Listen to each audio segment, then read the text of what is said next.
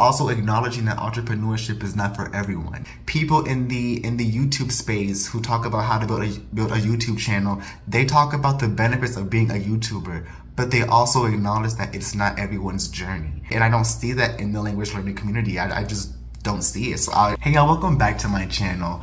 Uh, today's video is going to be from my English speaking community.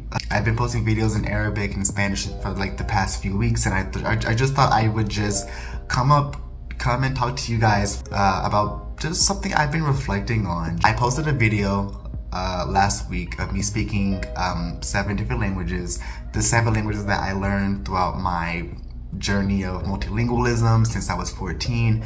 And I was in the shower this morning and I was just really reflecting on the idea of language learning and just how much work really goes into it. And an idea came to me that, and this idea may be a bit controversial because like my, the years I've spent watching polyglot content or, or just watching language learning related content on YouTube, I've never ever heard anyone just address the idea that language learning is just not for everyone. There's many videos out there about why you should learn a new language, how to learn a new language, and I do think these are all valid uh, uh, questions to address to the community of people who are actually uh, motivated to learn different languages. But I also realize like no one ever talks about the idea that language learning is just not for everyone. Just like with anything, I think people really kind of kind of confuse the idea that well since anyone can do it that everyone should do it. I honestly do believe that anyone can learn a new language. Anyone has that capacity if you just train yourself to do it and so forth. But but I look at it, you know, just just like anything else in the world, like, everything is just not your journey. Anyone can open a business, but does that mean entrepreneurship is for everyone? Anyone can record videos, but does that mean starting a YouTube channel is for everyone? The same goes for language learning. I think anyone has the capacity to if you put in uh, uh, enough effort and and um, time to do so, you can learn any language that you want to. But it's also really important to address the fact that that's just not everyone's journey. Throughout my years of, of learning different languages, I've met many people who have told me things like, it would be nice to one day learn Spanish or it would be nice to be able to speak Russian or just things like that. And I mention that because for me, each language that I learn, there's a story behind it. You know, I learned Spanish in order to talk to my crush in science class who did not speak English.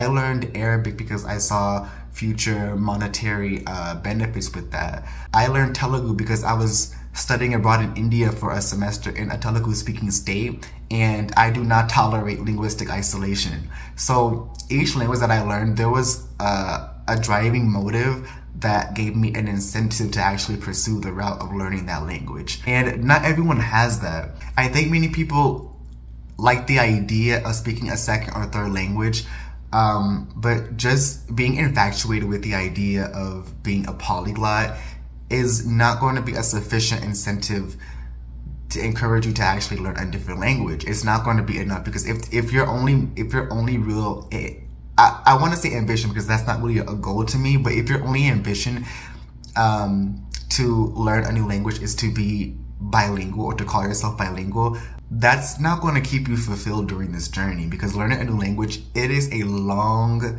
difficult, time-consuming process it takes a lot of time and effort and motivation and growing some really, really tough skin to really endure what polyglots actually go through. It takes tough skin because uh, in the language learning community, there's a lot of competition. You know, it's mainly it's mainly unspoken, but there is a lot of competition, underlying competition that goes on. You know, like even like when you go abroad for a semester and, and you're in the advanced language course, even like between students, there's going to be like this like like unspoken uh, tension or competition between the people because people always want to be better than the other. People always want to um, there's always like that one student that always feels like he needs to be better than better than anyone else, you know. And for um, and I say that because I was also that student. I went abroad to Brazil for a semester, and I knew that I knew really good Portuguese. Like, falo muito bem português. But uh, but when I was in Brazil, like there was a student in my class who spoke Portuguese way better than me, and I was like, wait. And I've never been in a position where my Portuguese was quote unquote challenge. Like I perceived it as a challenge because I was like, wait, like there's no way she can be better than me. And she was, and I had to just really, uh, deal with that. You know what I mean? So it's like, but not to divert too far from the, from the topic. Um, there's just a lot that goes into learning a new language. And if you're not really ready for that, that's okay. Because language learning is not for everyone. Language learning is not for everyone. To pursue the route of language learning, like you really have to have a strong uh, incentive that keeps you grounded in that mission because learning a new language requires a lot of um, uh, time and effort. It requires you to uh, train your brain to understand unfamiliar linguistic patterns. It requires you to sit with yourself for hours to try to break down these different verb conjugations. It takes it takes so much time. It takes so much cognitive gymnastics in order to reach a fluent level, which could take you years to to achieve. Just having the just having the goal of wanting to be or to, to, to call yourself bilingual or multilingual is not an incentive that's going to keep you grounded in that journey. Um, and it's and it's also easy to just and it's also okay to just really realize that it is also not for everyone. And no one ever talks about that you know? Um, we always talk about the benefits of learning a new language but when you talk about the when you uh, look at the the youtube community of people who talk about entrepreneurship they also talk about how they reap the benefits of being a business owner while also acknowledging that entrepreneurship is not for everyone. People in the in the YouTube space who talk about how to build a build a YouTube channel, they talk about the benefits of being a YouTuber, but they also acknowledge that it's not everyone's journey. And I and I and I don't see that in the language learning community. I, I just don't see it. So I I I said I'll just be the first to do it. You know, language learning is not for everyone. You know what I mean? We're in an era of hyper globalization and every, everything has some sort of international component to it, whether it be your jobs, uh, websites, everything has a, like an international component to it. And so people may feel like they need to integrate into this new era of the world by learning a second or third language, which will be beneficial, but that doesn't mean it's your journey. And I want to make this clear that I'm really mainly speaking to the English speaking population because if you speak English, you already have access to the world. This does not apply to people who come from remote villages where their language is only spoken by 3,000 people. Yeah, learning English will be a lot more beneficial for them in order to integrate into the international system. I'm referring to people who are uh, most likely native English speakers who feel like they need to learn a second language as a way to uh, insulate themselves of criticism and being called dumb. Because that's another thing too. I've traveled a bit and there's this perception that some people have about monolingual people and that they're dumb and that they are just lazy. And I just think that is not true. I've traveled the world and I've met many intellectual and intelligent people who are monolingual. You know what I mean? I don't think the amount of languages that you speak is uh, can calculate your intelligence because you may be able to uh, uh, speak two languages, but that doesn't mean you can think critically. That doesn't mean you're anal analytical. That doesn't mean you're creative. You know, it, it only means that you can say this in two words.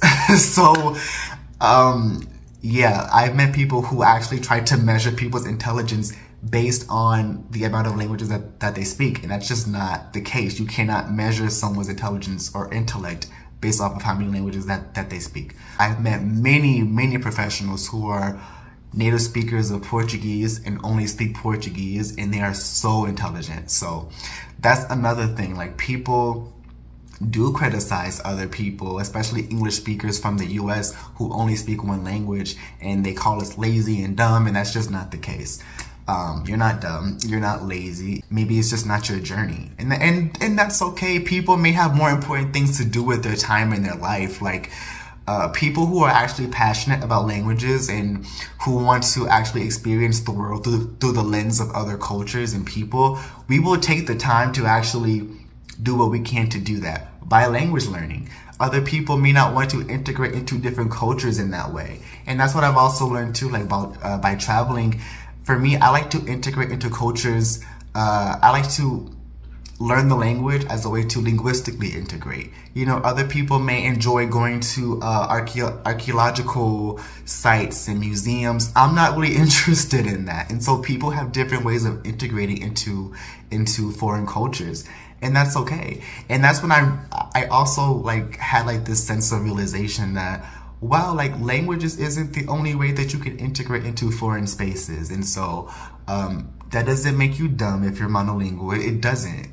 But with all that being said, I will acknowledge that I am still, a, I'm, I'm a forever ag, uh, advocate for language learning. And I'm really amazed by just all the different uh, apps and resources that are out uh, now and in this in this era to help people learn languages and all of the new programs that are out to make language learning a lot more easy and affordable for people. I love all of that. Um, but I also do recognize that language learning is just not for everyone. And I think that's okay to say. Some people may pursue a language and may realize it's not really for them. Um, and it's not really our place to shame people who are only monolingual because, like I said, how many languages you speak is not a reflection of your intelligence. I think I'm gonna leave it there. That was just a thought that was on my mind that I really thought needed to be shared because, like I said, I've never heard this being said in the language learning space and so I'll just be the first to say it. Thank you guys so much for watching this video. If you guys want to check out my other videos, I do make videos speaking in, in different languages like Arabic, Spanish, Portuguese, and I'm trying to get back into making more um, Malayalam and Telugu content. So if that interests you, please like this video and subscribe so you can always stay notified when I post new videos. So thank you guys so much for watching and I will see you guys next time.